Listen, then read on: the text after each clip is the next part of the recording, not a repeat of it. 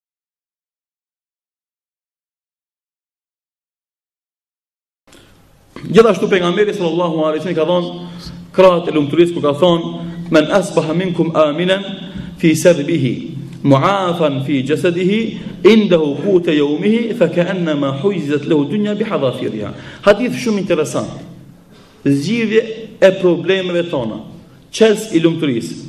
Kush gdhin, kush zgjohet në mëngjes, i sigurt në vend banimin e tij, ka siguri, siguri rehati.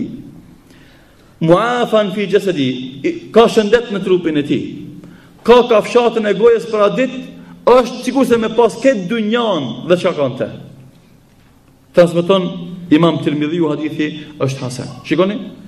Kush ka siguri? Një. Ka shëndet dhe ka kafshatën e ditës. Sikur se me pas këtë dynja. Domethën, na krejt jemi të lumtur, krejt jemi të pasun. Se alhamdulillah kemi siguri tani.